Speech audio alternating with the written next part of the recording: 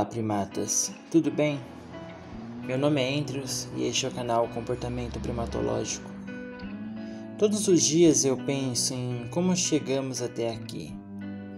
A sociedade cresceu com seus carros, prédios e o um mundo cinza que encobre as poucas árvores que restaram. O mundo está tão silencioso de vida que só ouço a vida das máquinas que dominaram a Terra.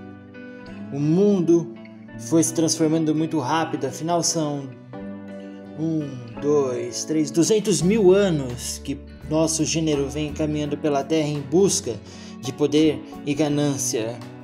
Pessoas tentando persuadir outras, umas querendo ser mais do que as outras. Mas isso não é recente não é mesmo? Há muito tempo atrás, há milhares de anos atrás, a sociedade, muito antes de se tornar essa sociedade de agora, já agiu com violência, com políticas exacerbadas de um ser humano que muito se deixou de ser social nos dias atuais. E o que temos hoje? Telas e mais telas em nossos rostos. Oi, tudo bem? Silêncio do outro lado. Em uma mesa de jantar ele está sentado. em sua frente ela, que espera pacientemente a sua atenção. Os dois trocam olhares.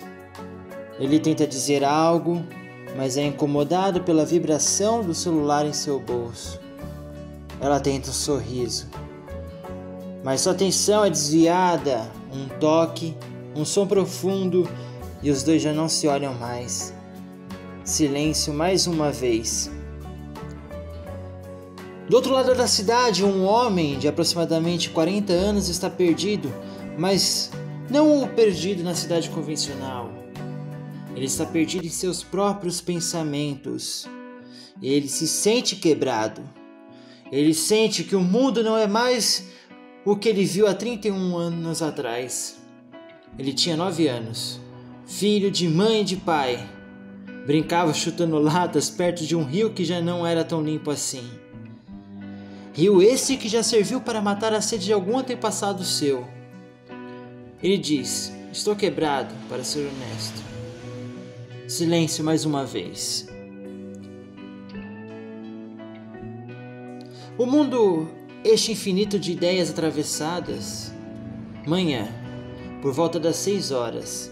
Cidade movimentada, horário de pico, trem cheio, todos obrigados a ficarem perto um do outro.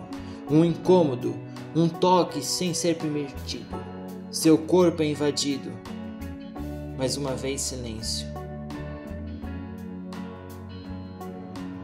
O que acontece com você, mundo?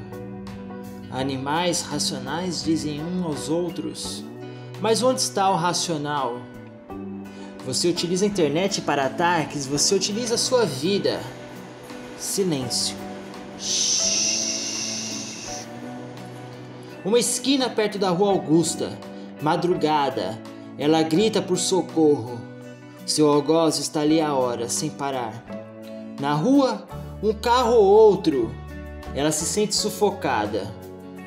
Mais uma vez, silêncio.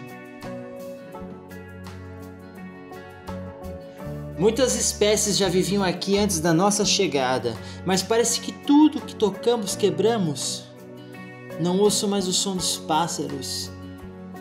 Não que eles não estejam ali, mas já estão tão longe que nem a delicadeza de sua beleza eu vejo mais. Lembro quando criança, minha mãe colocava vários vagalumes em um pote para que possamos ver a sua luz.